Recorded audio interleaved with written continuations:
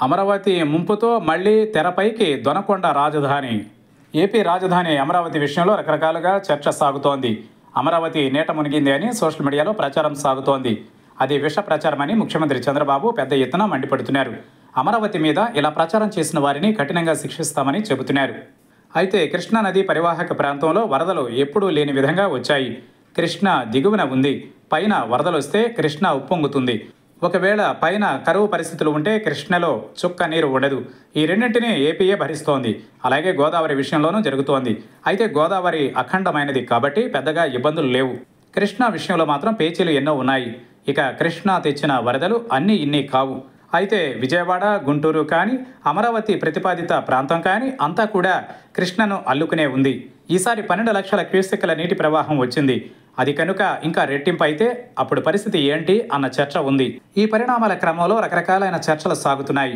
ఏపీకి రాజధానికి best place safest place ఎక్కడ అన్న దగ్గరే ఇంకా ఆలోచనలు కొనసాగుతున్నాయి. ఇప్పటికి పదేళ్ళ క్రితం సరిగ్గా ఇదే నెలలో విశాఖ హుదూద్ తుపాన్ బారిన పడింది. దాంతో విశాఖ విలయాన్ని తలపించింది. ఆ తర్వాత విశాఖ పర్యావరణం పరంగా అంత అనుకూలం కాదన్న వాదన చేస్తూ వస్తున్నారు. విశాఖకు ఒకవైపు సముద్రం ఉంది మరోవైపు వెనక కొండలున్నాయి.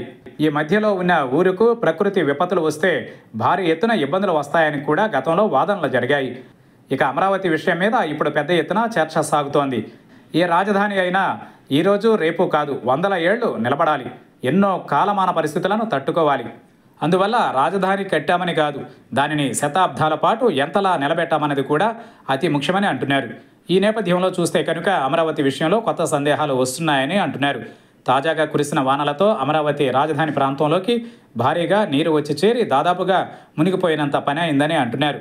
ఈ నేపథ్యంలో రాజధానికి బెస్ట్ ప్లేస్ ఏది అంటే కేంద్ర ప్రభుత్వం అప్పట్లో వేసిన ఒక కమిటీ ఇచ్చిన నివేదిక ప్రకారం దొనకొండ బెస్ట్ ప్లేస్ అని అంటున్నారు. నిజంగా దొనకొండకు ప్రకృతిపరమైన విపత్తులను తట్టుకునే శక్తి ఉందని అంటున్నారు. చుట్టూ కొండలు మధ్యన మైదానం లాంటి భూములతో అచ్చం హైదరాబాద్ లాంటి వాతావరణం తలపిస్తుందని అంటున్నారు. ఇక్కడ కావలసినంత భూమి ఉంది. పైగా సాయిల్ కూడా సింకింగ్ కాదు రాక్ సాయిల్. దాంతో ఎత్తైన భవనాలు ఏకంగా వంద అంతస్తుల వరకు నిలిపినా మల్టీ స్టోర్ బిల్డింగ్స్ అలా నిలబెట్టినా ఏమీ కాదు అని అంటున్నారు. ప్రకాశం జిల్లాలో ఉండే దొనకొండ కూడా అన్ని ప్రాంతాలకు దగ్గరగా ఉంటుందని అంటున్నారు.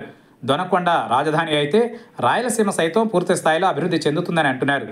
ఏపీలో ఎప్పటికీ ప్రాంతీయ విభేదాలు వచ్చి రాజధాని గొడవలతో మరోసారి విభజన వాదాలకు బేజాలు పడకుండా ఉండాలంటే దొనకొండ వైపే మొగ్గు చూపడం పాలకుల తక్షణ కర్తవ్యం కావాలని అంటున్నారు. అమరావతిలో లక్షల కోట్లు నిధులు ఖర్చు అవుతాయి అదే దొనకొండలో అతి తక్కువ ఖర్చుతోనే అద్భుతాలు చేయవచ్చని అంటున్నారు. అమరావతి ఇప్పటికీ ఒక రూపునకు షేపునకు రాని వేళ వచ్చిపడిన పెను విపత్తు భవిష్యత్తుని ఏపీకి చూపించింది ఇలా అని కూడా అంటున్నారు. పంతాలకు పట్టింపులకు ఎవరూ పోవాల్సిన అవసరం లేదు. అదే సమయంలో అమరావతిని కూడా అభివృద్ధి చేయవచ్చు. మొత్తం మీద చూస్తే దొనకొండ ది బెస్ట్ అంటున్న వారు అంతకంతకు పెరుగుతున్నారు. చూడాలి మరి ఈ డిబేట్ ఏ రకమైన మలుపు తీసుకుంటుందో.